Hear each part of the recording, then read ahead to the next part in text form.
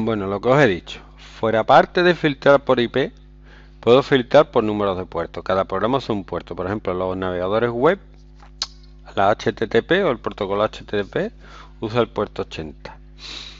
FTP, que es la transferencia de archivos, usa el puerto 21 y así con cada uno. Entonces yo puedo filtrar un puerto, por ejemplo, por el que se juega. ¿Vale? Vamos a ver cómo se hace. Tenemos aquí un archivito. Eh, que vamos a copiar para que no me pille como antes, que lo modifico, lo guardo y luego ya os encontré eso el ejercicio. No puede ser. Bueno.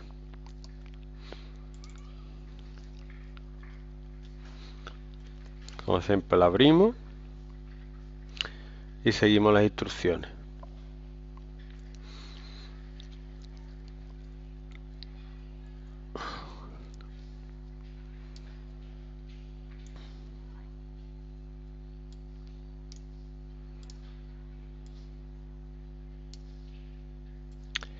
Dice configurar una CL, una lista de acceso ampliada para filtrar los números de puertos, verificar que la CL ampliada funciona. Dice, la oficina de seguridad le ha solicitado al usuario que aumente el nivel de seguridad en la granja de servidores. El ingeniero de RGF desea permitir únicamente el tráfico web y DNS a la red 10.10.10.0, o sea, solo páginas web, nada más. Debe denegarse el resto de tráfico. Dice, haga ping al servidor DNS, ¿Qué digo yo? Que el servidor DNS, que es el 10.10.10.250, bueno, viene aquí porque está aquí dentro, si hago aquí doble clic, me lo han bloqueado. ¿Vale? Pero ahí dentro hay un montón de servidores, entre los cuales está este. Dice desde PC0. Pues me meto desde PC0 y hago ping. Ping. 10, 10, 10, 250. ¿Me dejará o no? Pinging. Pinging, no, y luego ya sí. Siempre el primero ya sabéis que tarda un poquito mientras... Haga ping al servidor web. Servidor DNS y servidor web. Dice que haga lo mismo en el otro. lo mismo en el otro lo hacéis ustedes, ¿vale? Para comprobar que efectivamente si se conecta. Veremos a ver si se conecta o no. Uno, primero no, y luego si se conecta, ¿vale? Vamos a crear una hace la empleada dice selecciona el router ISP que es el router que me da acceso a internet vale entra el modo de configuración.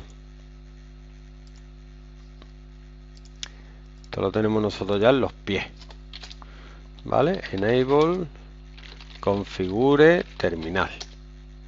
Y ahora me dice introduzca. Casi nada Access List, lista de acceso 100, permitir TCP a cualquier servidor que tenga esta dirección y que sea igual al puerto 80. El puerto 80 es el puerto de internet.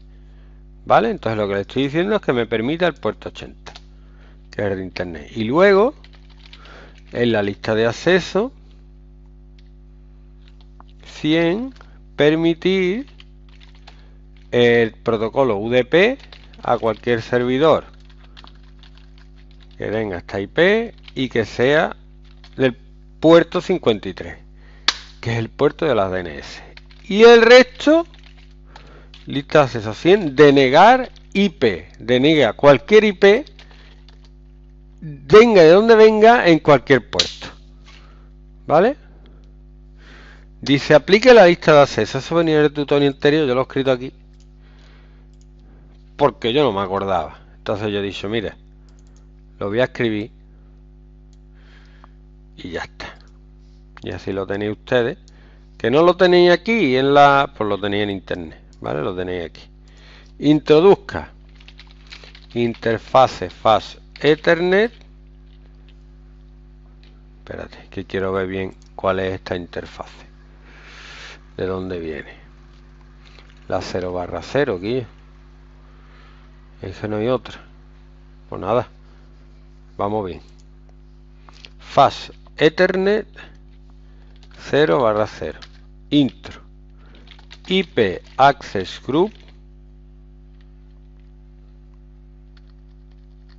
perdón Access List File Server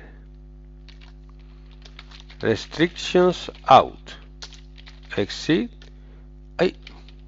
no, access, perdón, es IP Access Group File Server Restrictions Out. Ahora exit exit y guardo la configuración vale y lo que eso es bloquear